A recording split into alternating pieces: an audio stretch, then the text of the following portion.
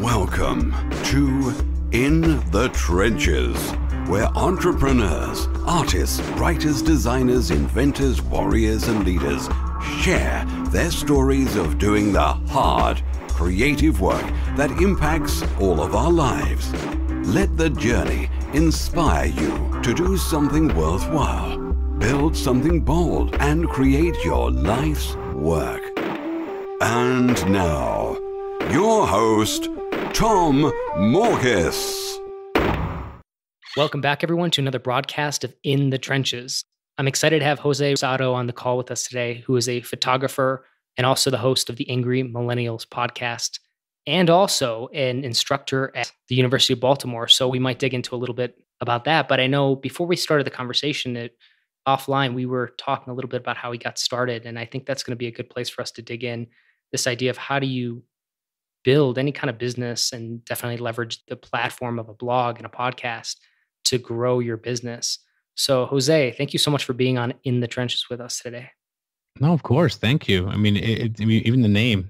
you know, when I uh, when I heard about it, I was like, I'm like that's kind of where I live. So uh, I love I'm glad to be here. Perfect. So, with you, I want to start from the beginning. Give us uh, your background. How did you get to what you're, you're doing? A lot of things, and that's why I asked mm-hmm. because I'm curious a little bit about your backstory. That's going to give some context to the rest of the conversation. Sure, sure, sure, sure. I let's see we can go way back, and I know it's a 25 minute show, so I'll keep it brief. But uh, way back, was never a great student, you know, in high school and stuff like that. Went to college, ended up realizing, you know, learning pretty cool when you're learning about things you want to know. Graduated with honors, and then went on to grad school and got my MBA. To, and to the in the trenches kind of mindset. I, you know, I went to grad school full time. I worked at a studio full time, and I worked club on the weekends because, as we all know, grad students are broke. And um, it was great but then I graduated in 08 and it was a really, really tough time to find work, especially in New York where I was living at the time. I luckily found photography my senior year of college. And, you know, what I thought would be six months, you know, while I look for work, I'll just do this and make money, ended up being six years. Apply to jobs and see if I can get, you know, quote, a real job. And uh, it never panned out for one reason or another. So I just started embracing the photography thing and this was, you know, before really social media became, but it was enough that I had friends all over the world who were photographers, you know, and, and we'd chat on Facebook and I'd travel the country all the time and couch surf and hang out with all of them and do photo walks together and stuff like that. So it was fostering that community. And, you know, fast forward, you know, seven, eight years later, I started getting into teaching when I moved to Baltimore, outside Baltimore from Philadelphia. Mm-hmm. And my whole life kind of a different turn. Not nothing sounds bad to say that, but I went from being a single guy in the city to now I'm, you know, with my fiance and two kids in the suburbs. So it was a very big change for me personally. Mm-hmm.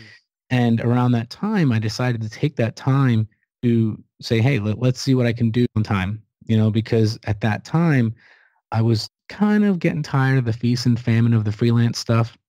And I worked um, remotely for a New York company and I could not worry about where my paycheck was coming from. Now that kids were in the picture, and um, that really helped. And then it was great until when I moved here uh, about a year in, I got laid off, and that was you know pretty tough, you know, to be uh, scared honestly, you know, by myself. But it's a whole other ballgame when it was you know two little kids and, and my fiance, and it was a change. Now that kind of that interesting time you know, again to the in the trenches kind of mantra, it's it's when it was a really tough time for me. You know, here I am with two degrees and great work experience for a publicly traded company. I'm thinking I could get another job a month, if that. And I didn't get a job for two and a half years. And in that time, as you can imagine, it was tough. It was very tough. But I look back on it, and as we were as we were chatting about before the call, I actually and looking back, say to myself, it was necessary because before that, I was just a photographer. That's all my art was. That's all I thought I knew I could do. I realized very quickly, I better figure out some other stuff to do. So I started teaching at the local community college and I started writing actually. And, and when I started writing, I got a job at Fstoppers and I started seeing, wow, like here I am doing stuff for myself again. And I'm seeing more progress than I did in, you know, the past six months of working full time on looking for a job. I just said, you know what? Let me just run with this. Talk to my family, talk to everybody and said, give me a month. You know, give me a month to not look for work, to not go on interviews and just concentrate on doing my own thing. And they were very supportive. And that's when I started the podcast. And, you know, it went from there. You know, the, the power of podcasting, as I'm sure you know, is that quickly, you know, I like I mentioned, all my friends that I knew online, all these people I cultivated relationships with for years, but never got to meet or or it was just online. Next thing you know, we're all meeting up at expos and conferences and having these amazing interviews about you know everything um, you know about life about the trials and tribulations about you know mental health then started seeing the power of podcasting you know of the fact that now with digital media unlike five you know ten years ago before in the past if you wanted press credentials you either had to be shooting for a magazine or newspaper or you know radio station or whatever but nowadays that's all replaced with you can have a blog you know you can have a website and you can have a podcast and that you know like that's the new norm and it was wild who we got to um you know sit with that's pretty interesting and i'm, I'm curious about that because you've been basically through it all um Mhm. here to graduate uh but i i you know that's i think part and parcel to kind of what you've been able to build to is being put in those kind of extenuating cir- circumstances of having to fend for yourself and right and right get into that world of eat what you kill, right? Which is any kind Right. of you know service, you know, anybody freelancing or running on their own, doing their own thing. So tell me this. I, I think this is a question that comes up a lot. I speak with creatives who are offering any sort of professional service, but uh, kind of on the creative end, things like art, etc. The biggest challenge always comes to how do you actually sell it? So Mhm. you got started. You were you were obviously taking pictures. You know, getting good at the photography. Tell me a little bit about how you actually got your first sales. Like, what was the process, and, and how has that changed over time? And then we'll segue into some of the other stuff you're doing. you know like like i mentioned i'm i'm 34 i'm not you know 60 right so i'm young enough that i i totally get social media i'm on it and i understand it but i'm old enough that i remember how things were and i think honestly a lot of it hasn't changed now the vehicle in which you conduct the business or maybe market the business yes that has changed. It's still a people to people thing. You know people aren't really necessarily buying just my photographs. I mean they're buying me as a person. You know they're they're investing in me to their trust and their hard-earned money to you know get the video for their photo shoot or you know magazine shoot or whatever it may be i'm getting hired for.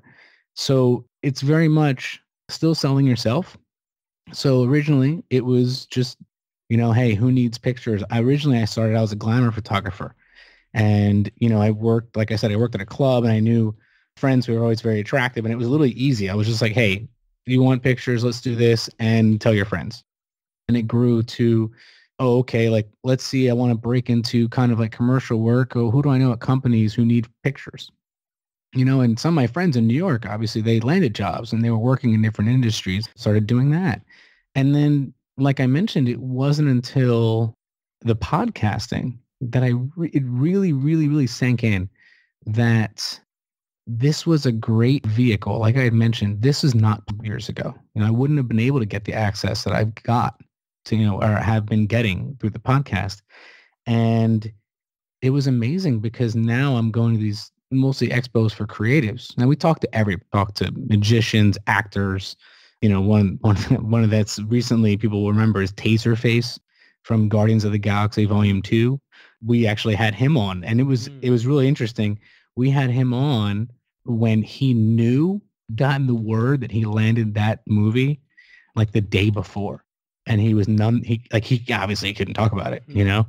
But again, it's the people we got access to, and it was just amazing because now I could go to these expos and these trade shows and even just people and I'm reaching out to people in general and saying, Hey, do you want to chat? Or do you want to sit for an hour with me and really just get granular on whatever you want, you know, what your passion is and all this kind of stuff. And it's honest and it's raw. And I told people you can curse because I want you to be comfortable. And that was a big thing. And I didn't realize it then, but it started kind of the mental health side started creeping in there because people then would start asking in other interviews a while in, where they would say, listen, we have to ask, like, how do you get people to share things really never talked about in an interview before? And I started thinking about like, you know, right there on the spot. And I said, well, maybe it's the way I, I set up the interview. I go, because the way it's set up is like in two parts, really. The first, you know, two thirds of the show, we're talking about you, we're getting to know you, we're having fun. We're talking about, you know, your project or your company or everything you want to talk about and getting to know you. And then the last third, so I asked everyone these same exact questions, no matter who they were. And a lot of them were, you know, we, I would joke around with them and say, are you ready to go like second level deep? Because we're, that's what's going to happen right now. Mm-hmm. And, you know, I would ask them, like, what's the biggest failure in your career? What's the biggest, great, you know, good thing? And people would share things like parents passing away and them never taking pictures of them, or comedian Mickey Coachella is, saying that his mom got very ill. And at the height of his career, he was doing an HBO special and um, and his mom was in the hospital. They didn't know she was going to make it, and the, the uh, producers for the show actually talked to the hospital and got her to come with a nurse. And he didn't know any of this. And he looks up and he goes, there's my mom. You know, and, and all of a sudden, with all the, you know, the jib and the cranes and all that, the big pro, production that HBO is, he goes, it's my mom in the kitchen and I was just telling her jokes, you know, like growing up. Mm. She passed away not too long after that. But he said, you know what? Just the fact that she could have been there was amazing, you know? And these are just some of the stories. And that's what people want to buy. That's what people get hooked on is your story. You know, yeah, you have a great product that's important at its very core. Storytelling is still the most powerful, you know, way of really conducting business.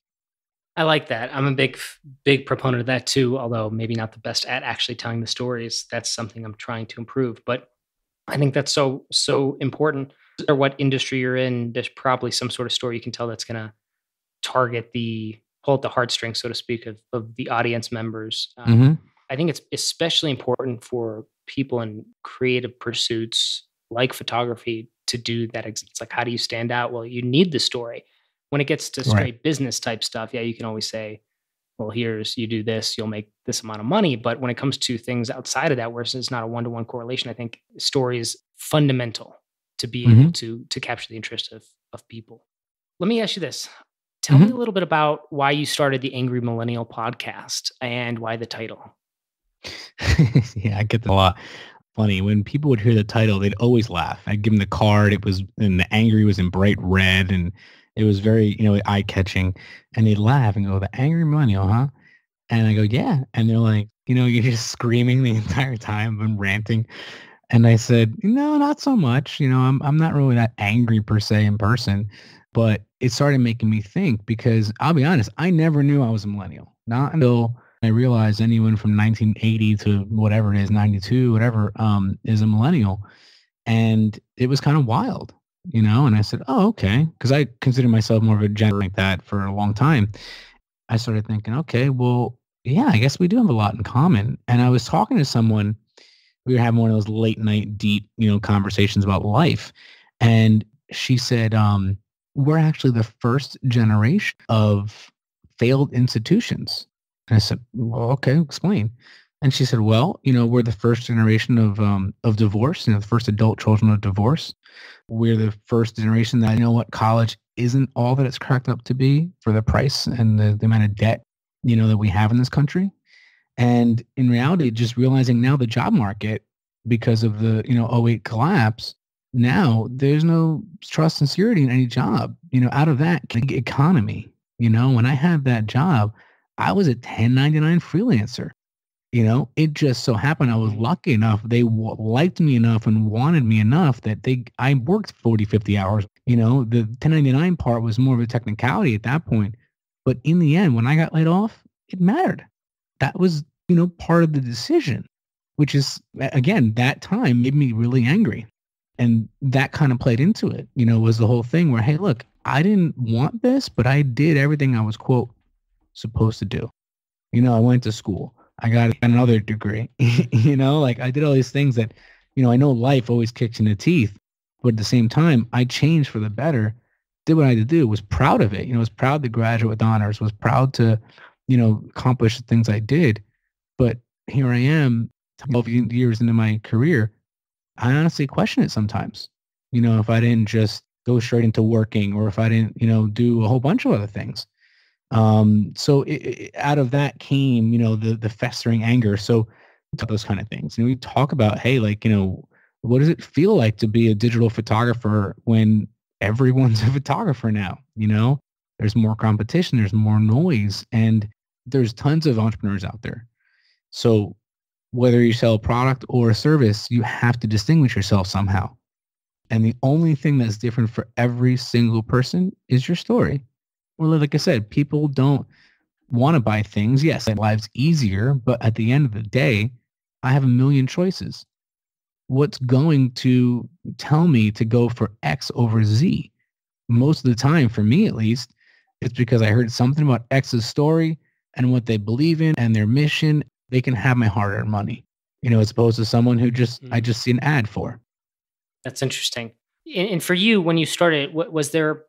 I guess was there a plan behind it, or was it really for you? Was mm. it just to to see what would happen?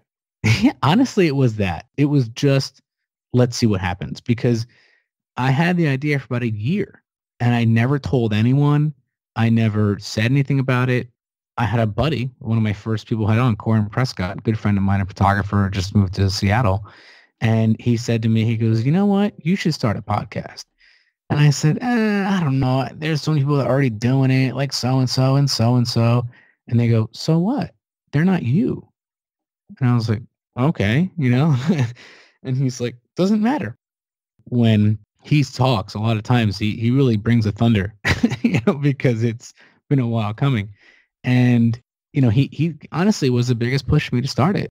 And a few times we had touch points throughout the time when, when the show got, you know, bigger and when I was traveling more, it was all from a great place. And, and it was all kind of grounding me because he said it, you know, he all right things that I needed to hear when I needed to hear. And so what started out as, hey, let's do this, then became, uh, I brought on a, a co-host for a while, a photographer as well. So then I said, all right, we have three weeks to get this started, get a website and do everything, learn the audio and all of it in three weeks because Photo Plus in New York is going on. And that's like the last big expo of the year. So everyone, the who's who of photography, and it's it's a great you know pool of talent to um you know if you wanted to go as a press guy interview some people and from there kind of it kind of took off you know we had chase jarvis when he when i saw him there who i knew to be on the show. He's the creator of um co-founder of uh, I was like creating depression. Creative live. He's yeah creative live. Yep. there you go. Thank you. Which is a huge free online learning platform you know and and is really killing it in just creative space but all of life you know it's all about mm-hmm. you know, quality of life, honestly. And from there, it just kind of kind of took off, you know. So I started just putting a hundred percent into it, and always constantly checking my my partner, you know, Jessica and my parents, and saying, "Hey, listen, like, can we give me one more month? You know, what do you think? Are you still okay with this? You know, because I knew it was it was risky. I knew it was uh, I don't say foolish, but you know, that's most of the stuff is, right? I mean, I was putting pouring myself into an online radio show that at that time was making no money and you know had maybe like one small advertiser and but at the same time I knew I said, look, if I want this thing to be any, I'm going to have to give it a hundred percent. If I treat it like a hobby, I'll only get a hobby return. And, you know, I started just going all in, you know, traveling, begging, borrowing miles from friends and family. Like I did anything I could to keep costs down, but I traveled as much as I could to do the show. And people, you know, it showed. I mean, within a few months, we had amazing guests on. You know, we had uh, more than a few paid advertisers. I mean, and people would ask me like, dude, this thing kind of blew up. You know, we were on the, we rose to number, number two in our category and new and noteworthy. And we stayed there for, you know, seven weeks it went from one day a week show to a two day a week show to at towards the end. Well, at the end because it's um I would say not hiatus right now or constant other things, but um we went 101 episodes. And towards the end, it was three days a week. So every day, if you ask me what I was doing, it was literally either writing, uh, recording an episode, getting prep for another interview, or traveling, uh, along with teaching and having kids. So it, when it got that big, I said, you know what, I'm going to have to take a break and you know maybe treat this like seasons instead of just going on into perpetuity like some people do. And so that way I could have like a little mental break. Yeah. So we, we took, honestly, it was about, you know, now that I mentioned it, it was probably about a year ago now that we said, you know what, we're going to press pause. We're coming back. And I, I knew at that time, this other initiative that I started called Creatives Against Depression was slowly starting to kind of snowball uh, on the back burner. And I wanted to take time to really kind of dive into that and see what's possible. That's very cool. So now as you do a lot of things, you're still doing a lot of things. How do you actually manage all these things? How do you prioritize? Well, I think um, just like anybody else, it's, you know, prioritizing what's important to you. And as a creative, I struggle with for uh, uh, years, you know, and I think now I'm starting to get, and I, I still do at times, but I'm starting to get better at it, is your priorities change. And it's not just from being single to having a family, like, of course, but your art change. You know, like I'm still a photographer, but I don't do it full time anymore. You know, I, I like teaching it instead. You know, I still shoot when I can, of course. You know, but that was a hard transition to make. No longer make that a huge priority, you know. And then, for instance, with the Angry Millennial Show, I mean, I loved, loved podcasting. And right now, I think the podcast movement is going on, the uh, annual kind of uh, expo for podcasting. I wanted to go, but you know, but again, it's not a priority right now. So when I when I uh, decided to take more of Creatives Against Depression on and see what I could do in the mental health space, you know, again, I'm a very much all in type person. So I said, you know what? I'm going to go all in for Creatives Against Depression. I'll also do some podcasting when I can. I'll still do some hosting and some interviewing when I can. Um, but this is now my my next priority. Just like anyone will tell you, just like any living thing, I had to feed it every once in a while. You know, so I still shot every once in a while. So it took a you know a couple weddings a year, you know, to shoot, or or still took on some magazine shoots a couple times a year. You know, I then co-host other shows, or I would interview when I could remotely for podcasting. You know, I needed something that again to water that plant. But at the same time, a new priority, like we talked about earlier, is I actually through Creatives Against Depression and that became it was a website that became a medium publication and a blog that we started doing talks at colleges um, like ted style talks and then a weekly support group called together we got this with people i actually met through podcasting you know mickey Coachella and other people and now that just celebrated a year every tuesday we have a support group i mean every every week for a year now and out of that and out of serving on boards and working my way into people's offices, doing certification courses. I now recently got a job at, at a uh, community action agency as a case manager. And now, mind you, again, going back to the, in the trenches, I were slammed in my face a lot in that year. You know, people go, hey, it's great what you're doing. We love what you're doing, but you don't have a social work degree or a human services degree or a psychology degree. You know, I did I studied advertising undergrad, you know, but I had to again prioritize and say, I want this. And it still is a big part of who I am is promoting mental health. And I said, you know what? I'm just going to keep going. Lo and behold, almost three years later, I finally got another job, if you will. And it's in a completely different field. You know, I've changed careers and I still have my art as well.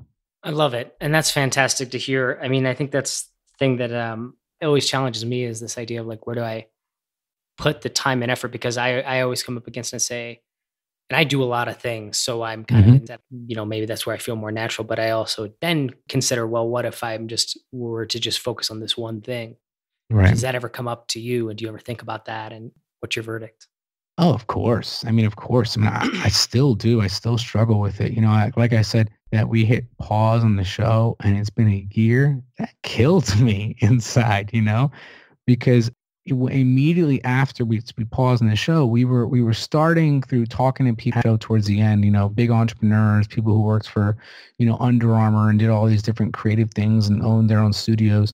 And we were starting to say, hey, like, what if we switch to a seasonal format? And you know we then say we're going to get seasonal sponsors instead of episodes.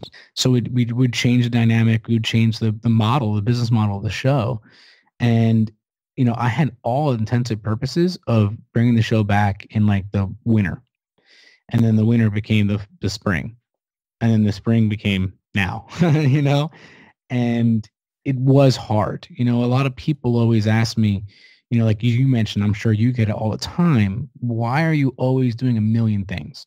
And I always said, I'm just a high functioning person because I, when I really, really think about it and I'm honest myself, the times I struggled the worst with my depression and anxiety since I was at 14 was when I had only one thing to concentrate on. And, and you know what? I'll be honest with you. There's been times where I'm jealous. I'm not talking down about people who punch a clock. I'm actually jealous of people who can go into work and leave at five and go home and just self-care, zone out, do whatever. And that's it. That's their whole life. And to me, it's like I could never shut off that part of my brain. You know, to me, it was always, okay, I'm now what do I do? That was naturally why taking on, you know, a couple different forms of art and and starting a couple different companies that, you know, some failed, some succeeded was something I had to do. Like a lot in life, it's about balance, right? So I would tell people all the time when I stopped shooting full time, they go, Oh, why are you not shooting full time? You know, i'm such a good photographer. And I'm like, it became a job and I got burnt out. And I don't want to get burnt out. Doing it full time made it not fun anymore. And for a lot of people, they just they just are, you know what? They're, they're I'm gonna die with a camera in my hand. I'm gonna die knowing I'm a photographer for life and that's how I fed my family and kids and all that stuff. And I think that's great. But for me, I knew enough about myself to say, you know what? I want just a different job that isn't creative, but is enough of an engaging position that I can feel passion about it. But I want my art to just be my art. So I have that balance. You know, I can I can shoot when I want. I can mm-hmm. get a little bit more into it when I want. So to me, it's always fluid. Sometimes I'll shut down some things that I'm doing to concentrate more on self-care and concentrate on maybe one or two things or just one like I did with the Angry Millennial. Or I'll just kind of float back to just, you know, watering every single one a little bit here and there, but putting more into one that's at the top of the priority list. I love it. Well, Jose, we are actually over, already over time. So what I want to do is give you the floor here. Where can people reach out to find you if they're interested in connecting with you or learning more about what you're doing? Or what are the best places for people who are just listening to this, eh, you know, this podcast and interested in what you're talking about First off, apologies. I know I'm very verbose. so, Tom, if you had like a whole bunch of questions and all that, I'm sorry. My apologies. So, yeah, so you can go. My, my website is joserosado.com. So, J S J O J O S E R O S A D O photo, P H O T O dot com. And from there, you'll be able to find um, the Angry Millennial under podcast. You'll be able to find the Creatives Against Depression link, all that stuff. I love it, Jose. Thank you so much. We'll make sure that is listed in the show notes for anybody who's listening to this, interested in finding out. Definitely check that out. And if you want to check out the podcast and where those links are, you can just go to tommorkes.com slash podcast. Other than that, Jose, thank you so much. This was a pleasure having you. Tom, thank you. Thank you for listening to In the Trenches. Your creative work doesn't stop here. Join the resistance, the small but growing army of entrepreneurs and artists putting a dent in the world at www.tommorkes.com. Never fight alone. Join the resistance.